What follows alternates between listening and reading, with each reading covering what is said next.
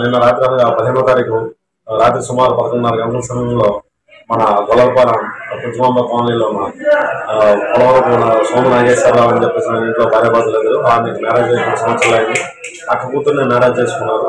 ఆ కూతుర్నే మ్యారేజ్ చేసుకుని ఆమె మీద అనుమానంతో అనుమానంతో ఆమెని రాత్రి పదకొండున్నర పన్నెండు మధ్యలో చేయడం జరిగింది. డబ్బులతో కొట్టి తలపైన కొట్టి దారుణంగా చంపడం జరిగింది. చంపిన తర్వాత ఆయన ఎంతసేపు గోల్డ్ పెట్టుకొని తల వేసుకొని ఆయన కూడా వేసుకొని చనిపోవడం జరిగింది.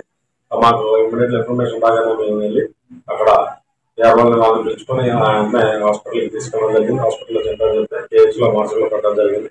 ప్రస్తుతానికి వాళ్ళ మందుల్లో వాళ్ళు వస్తే అంతా కూడా తీసుకొని ఇన్వెస్టిగేషన్ చేస్తానుంది ఎఫ్ఐఆర్ గట్ట ప్రజెంట్ దర్యాప్తులో ఉంది కంప్లైంట్ విఆర్ఓ దగ్గర నుంచి తీసుకున్నాను. విఆర్ఓ గారు కంప్లైంట్ ఇచ్చారు. వాళ్ళ బంధువులు వచ్చిన తర్వాత అవన్నీ కూడా వాళ్ళు ఏం చెప్తే దాని ప్రకారం